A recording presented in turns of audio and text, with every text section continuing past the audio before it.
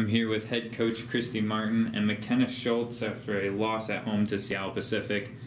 Coach, this is the number one defense in the conference. They held Alaska Anchorage only 48 points on Saturday. You're able to go out, shoot 51% from the field, score 76 points in tonight's game. What was working offensively? Um, initially, nothing. I mean, I guess in the first in the first quarter, we we did a really good job um, and and scored I think 15 points on them right away, and then they locked us down.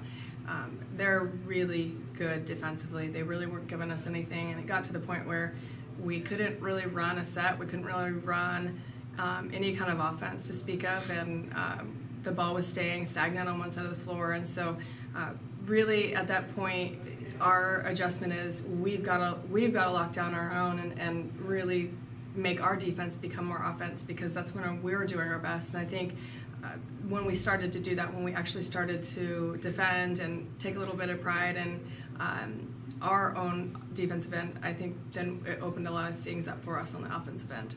And talking about opening things up on the offensive end, Makenna, you had a game to remember 33 points, 6 of 7 from beyond the arc, 9 of 10 at the line. You know, what what was the the feeling tonight? You know, that first time that ball goes in the basket, you know something was kind of cooking tonight. You knew you were gonna go out and set a new career high, or you know, was it something that just evolved throughout the game? No, I just go out there and play to win. Like she said, the focus is defense, and then when our team gets rebounds and steals and stuff like that, it's easier from uh, transition points.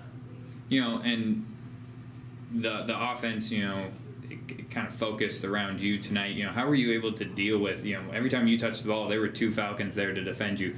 How were you able to deal with that and kind of create some space for you? I don't know, just playing to win. Honestly, just going up, do what I can.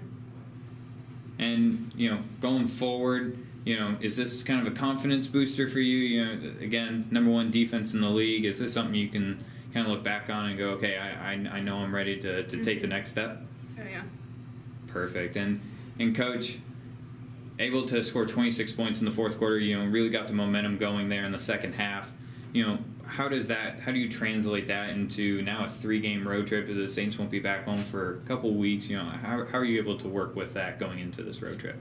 I think when you know losing E has created a giant hole, and one of the things that we said to them in the locker room was listen, we're we're gonna have these lumps, and we haven't had a lot of time to adapt, and and so at this point, we need we challenge certain people to step up. I thought Jayla Russ really stepped up, Ihi stepped up, and um, you know obviously Makenna stepped up, and and so we we're trying to figure out our identity without her now, and so at this point, it's it's moving forward and just asking everybody to be a threat, everybody to to do uh, play a different role that they're accustomed to. And so, um, if we can use that fourth quarter as kind of a push, I think we'll be okay, and um, it will be fun. I mean, I thought we we were pretty fun to watch in the, in the fourth quarter, and um, if we continue to do that, I mean, I thought Makenna did a fabulous job of creating her own shots, and that's something in women's basketball you don't see a lot of is somebody who can actually get their own shot. And so she, she's very crafty. She's she's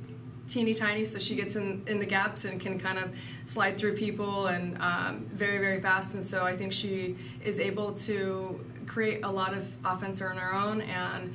Um, we're going to look for her to do that a little bit more, um, but also challenge her to uh, set some other people up as well uh, because she's going to have to get used to getting two or three people on her at you know just like Sanaya does but um, I was proud of them I, I really was I, I, thought we've hit a lot of adversity and um, losing E was uh, a big blow and we definitely uh, took some lumps today but I thought we did a good job of sticking with it and like you said playing 40 minutes basketball today well, we're excited to watch the Saints continue to grow, and we'll be following you guys on the road, and can't wait for you guys to get back inside Marcus Pavilion. All right. Thanks, Austin.